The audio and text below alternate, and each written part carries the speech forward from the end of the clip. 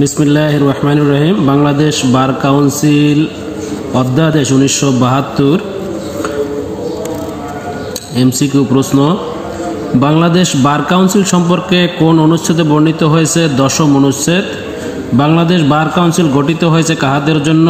আইনজীবী, বার কাউন্সিলের সভাপতিকে পদাধিকার বলে বাংলাদেশের অ্যাটর্নি জেনারেল। বার কাউন্সিলের মোট সদস্য সংখ্যা কত? পনেরো জন। বার কাউন্সিলের মেয়াদকাল কত? তিন বছর। চেয়ারম্যান কর্তৃক বার কাউন্সিল নির্বাচনের তফসিল প্রকাশ করতে হবে। অনুষ্ঠিতব্য নির্বাচনের কমপক্ষে পঁয়তাল্লিশ দিন পূর্বে। বার কাউন্সিলের মেয়াদ শুরুর তারিখ হতে হিসাব করে প্রথম সভা অনুষ্ঠিত হবে এক মাসের মধ্যে। বাংলাদেশ বার কাউন্সিলের বর্তমান সভাপতি কে? জনাব অ্যাডভোকেট মাহবুল আলম। বাংলাদেশ বার কাউন্সিলের সহসভাপতি কীভাবে হইবেন? নির্বাচিত সদস্যগণের দ্বারা নির্ধারিত পদ্ধতিতে নির্বাচিত। বাংলাদেশ বার কাউন্সিলের সহসভাপতির নাম কি? জনাব খন্দকার মাহবুব হোসেন। বাংলাদেশ বার কাউন্সিলের সেক্রেটারিকে বার কাউন্সিল কর্তৃক নিযুক্ত বেতনভোগী একজন উচ্চ পদস্থ কর্মকর্তা। বর্তমানে বাংলাদেশ বার কাউন্সিলের সেক্রেটারির নাম কি? জনাব আলতাফ হোসেন, বার কাউন্সিলের কয়টি সাব কমিটি আছে? চারটি। বাংলাদেশ বার কাউন্সিল অধ্যাদেশ উনিশশো বাহাত্তরের দুই হাজার বারো সনের একুশে অক্টোবরের সংশোধনী অনুযায়ী বার কাউন্সিলের এনরোলমেন্ট কমিটি এর চেয়ারম্যান নিযুক্ত হইবার যোগ্য কে? আপিল বিভাগের বিচারপতি একজন, হাইকোর্ট বিভাগের বিচারপতি দুইজন এবং অ্যাটর্নি জেনারেল এবং নির্বাচিত সদস্য একজন। কতজন সদস্যর সমন্বয়ে এনরোলমেন্ট সাব কমিটি গঠিত হয়? পাঁচজন। বার কাউন্সিল একটি বিধিবদ্ধ সংস্থা হবে যার চুক্তি করা সহ সম্পত্তি ধারণ করার ক্ষমতা থাকবে। এটা বার কাউন্সিল আদেশের কত নং ধারায় বলা হয়েছে? তিন ধারায়।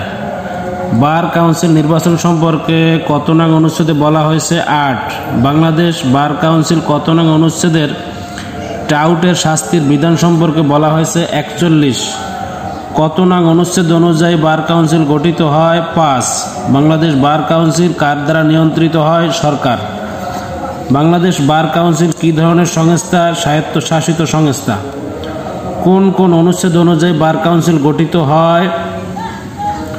পাঁচ, ছয়, এগারো এবং একের এগারো ক এর এক। সর্বশেষ সংশোধনী মোতাবেক আইনজীবী হিসেবে তালিকাভুক্তি কমিটি কত সদস্যের সমন্বয়ে গঠিত হবে? পাঁচজন Bangladesh legal practitioners and bar council order উনিশশো বাহাত্তরের অনুচ্ছেদ এগারো অনুসারে নিচের কোনটি বার কাউন্সিলের committee? In executive committee, finance committee এবং এনরোলমেন্ট কমিটি, সবগুলো। বাংলাদেশ বার কাউন্সিলের এক্সিকিউটিভ কমিটির সদস্য সংখ্যা কত? পাঁচজন বাংলাদেশ বার কাউন্সিল আদেশ উনিশশো বাহাত্তরের দুই হাজার বারো সনের একুশে অক্টোবরের সংশোধনী অনুযায়ী সরকার কর্তৃক বার কাউন্সিলের সচিব নিযুক্ত হইবার যোগ্য জেলা জজ অথবা রেজিস্ট্রার। বাংলাদেশ বার কাউন্সিলের ফিনান্স কমিটির সদস্য সংখ্যা কত? পাঁচজন। বাংলাদেশ বার কাউন্সিলের লিগ্যাল এডুকেশন কমিটির সদস্য সংখ্যা কত? নয় জন বাংলাদেশ বার কাউন্সিলের লিগ্যাল এডুকেশন কমিটির নয়জন সদস্যের মধ্যে বার কাউন্সিলের নির্বাচিত সদস্য সংখ্যা কত? পাঁচজন ন্যূনতম কত বছরের অভিজ্ঞতা না থাকলে একজন আইনজীবী কোনো সনদ প্রার্থীকে নবিশ হিসেবে গ্রহণ করিতে পারেন না? দশ বছর। আইনজীবী সনদের জন্য আবেদনকারীকে কতদিন শিক্ষানবিশ থাকতে হয়? ছয় মাস। সর্বোচ্চ কত বছর বয়সে কোনো ব্যক্তি আইনজীবী হিসেবে তালিকাভুক্তির জন্য আবেদন করিতে পারেন? কোনো বয়সের উল্লেখ নেই। কত বছর বয়সের মধ্যে অ্যাডভোকেট হলে বার কাউন্সিল কর্তৃক বেনভোলেন্ট ফান্ডের সুবিধা পাওয়া যাবে? চল্লিশ বছর। বাংলাদেশ বার কাউন্সিল নির্বাচনে আঞ্চলিক আসন সংখ্যা কয়টি? সাতটি। বাংলাদেশ বার কাউন্সিল নির্বাচনে সাধারণ আসন কয়টি? সাতটি। বাংলাদেশ বার কাউন্সিল কোন ধরনের প্রতিষ্ঠান সংবিধিবদ্ধ সংস্থা? বার অ্যাসোসিয়েশন বলতে কি বুঝো? বাংলাদেশের প্রত্যেক জেলার আইনজীবীদের সমিতি। বার অ্যাসোসিয়েশনের মেয়াদকাল কত? এক বছর। বার অ্যাসোসিয়েশনের সহসভাপতি কে? সংশ্লিষ্ট জেলা আইনজীবীদের প্রত্যক্ষ ভোটে নির্বাচিত ব্যক্তি।